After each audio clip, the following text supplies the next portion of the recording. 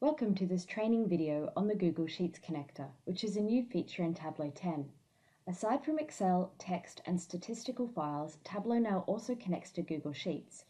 This not only means that you can use this popular data type directly in Tableau without having to download any data tables to your hard drive, but it also means that you have an avenue to create Tableau public vizzes with automatic data refreshes. Let's look at this in action. To do so, I have saved the same dataset that we have used before in my Google Sheets account. To connect it to Tableau, I first choose the data type, in this case Google Sheets, and then I log into my account with my Google credentials.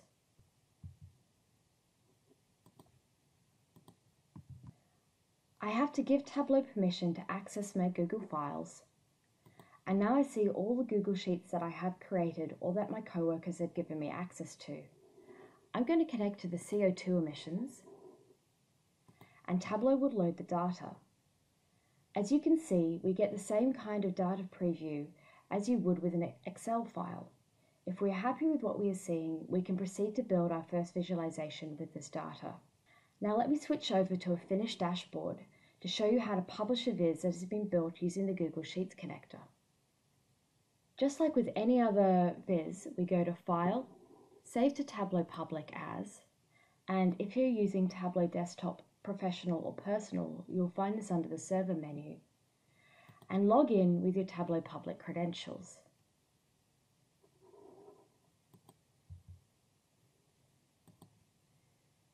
Give the workbook a good name. Now the crucial difference to workbooks using other types of data sources is that those built using Google Sheets, we can now activate the option to have this data automatically refreshed at regular intervals. Simply tick the checkbox here. This means that your visualization will always reflect the latest data that is in your spreadsheet. The data in your spreadsheet could change either because you make the changes to it by hand or because you have set up a sheet that is fed data automatically from elsewhere on the web. At the time of this recording, the interval for automatic data refreshes is around 24 hours. Should you wish to refresh your data sooner than 24 hours, you can do that on the Viz homepage. Let's save this visualization and see how you can manually trigger a data refresh. When you published, you are prompted again to allow Tableau to access your Google Sheets. Hit allow and the Viz proceeds to publish. Once we have published our viz, click Edit Details. Down the bottom here, you can see where we can request an update if we would like our data to be refreshed sooner than the default 24 hours.